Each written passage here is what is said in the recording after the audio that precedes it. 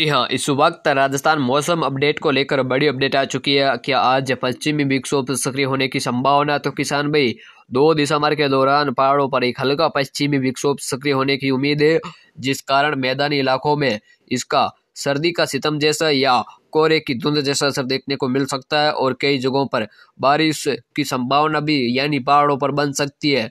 लद्दाख, जम्मू कश्मीर के आसपास के एरियो में काफ़ी ज़्यादा व्यापक वर्षा होने की और बर्फबारी होने की संभावना है और ये धीरे धीरे बारिश की इंटेंसिटी या पाँच दिसंबर तक चलती रहेगी, फिर पाँच दिसंबर को कमज़ोर हो जाएगी और पाँच दिसंबर के बाद एक हल्का और पश्चिमी विक्षोभ आने की उम्मीद है।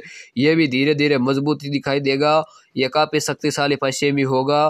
पश्चिमी विक्षोभ सक्रिय होने की संभावना है और अगले छः यानी दिसंबर तक इसका भी इम्पैक्ट बना रहेगा। अगर राजस्थान तक बात करें तो अभी वर्तमान में राजस्थान में बारिश की संभावना नहीं है। हालाँकि इस सक्रिय पश्चिमी विक्षोभ की प्रभाव से शीतलहर मैदानी इलाकों में ज़रूर बढ़ सकती है और ठंड बढ़ सकती है। इस वजह से काफ़ी ज़्यादा कई जगहों पर कोहरा भी बना रख सकता है।